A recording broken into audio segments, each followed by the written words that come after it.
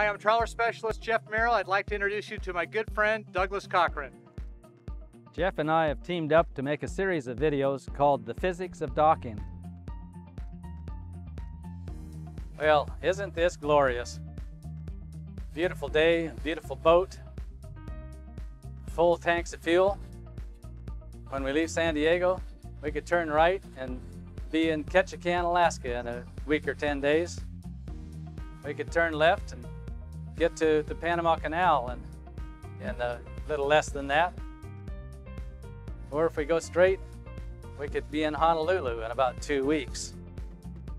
Master of our own destiny, complete freedom and independence. Of course, we also have complete responsibility for our own upkeep because there's nobody out there that's going to help us. A great way to live. You ready? Yeah, all right. Hi, I'm trawler specialist Jeff Merrill aboard the Nordhavn 57 with Douglas Cochrane, my good friend and a master of docking maneuvers. Uh, Douglas is going to work with me on a series of videos, and this one is about center of balance. Douglas. So what we're talking about with center of the balance is, is the boat will pivot on its center point. We're going to show you a number of examples of how this happens. But the reason it's important is because when you're maneuvering your boat in tight quarters, you need to know how to move it around without going very far forwards or backwards because you may not have room to do that. So let's get into some of the animations. We'll show you how it works. Dick and Jane rotate up and down on the teeter-totter, which is balanced on a pivot point. Boats have a pivot point that they turn on. When the bow turns one way, the stern turns the other. Okay, so every boat has a pivot point, and the boat will turn on that pivot point. And typically, it's it's in the center of the boat. So in this boat, it's right underneath my seat. So you'll notice that when I turn the bow, the stern turns in the opposite direction, and that's how every boat will operate, big or small.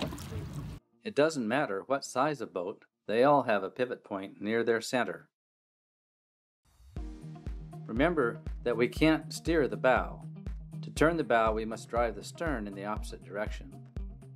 We need to be aware of what's behind us so the stern doesn't crash into the dock or pilings or other boats. That we just can't do that kind of thing. We want to make It's sure like we've got a carrying something on your shoulder. and everything should work When you steer the front end somewhere, tell what's gonna pay attention to what's happening behind you. Buddy, What? Here's an exercise you can try on your own boat. Find an empty stretch of water on a calm day. At dead slow, practice making tight turns one way or the other. Get a feel for how your boat rotates on its pivot point. Then try the same drill at a higher speed. Notice that the steering gets stiffer as more water flows over the rudder.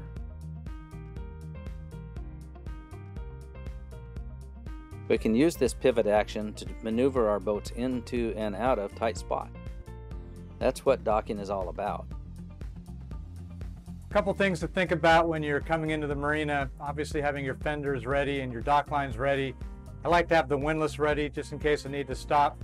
And speaking of stopping, there's a lot of little things on the water you need to be looking for kayaks, stand up paddle boards, and sometimes you have to do a hard stop. So we're underway. You put it in reverse, give it some throttle, look at the side to see where you are in motion, and you can come to rest pretty quickly. So we're out in open water practicing this, but it is a good maneuver to be comfortable doing. In upcoming sequences, we'll show you several examples of ways to use this interaction to your advantage. You've probably noticed the large orange X on the bimini of this ocean crossing boat. Have you ever heard how hard it is to spot a white boat in the white spume of a major tropical storm? A Coast Guard helicopter needs a reference point to drop a rescue swimmer onto or near a distressed vessel. X marks the spot. So stay tuned, we've got lots more cool stuff to show you.